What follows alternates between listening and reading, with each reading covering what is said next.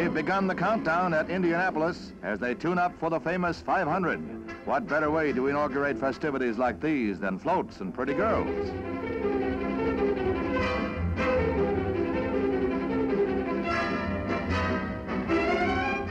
The first car on the track for the shakedown runs is number 16, a Bryant, driven by Len Sutton. It has been christened the Sweet 16, and Len hopes its performance will be as sweet as its name.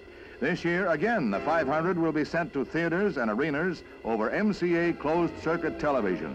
Last year, thousands saw the race in air-conditioned comfort, and even bigger crowds are expected this year. The days before the race are hectic ones at the Indianapolis Speedway, getting ready for the greatest racing show on earth.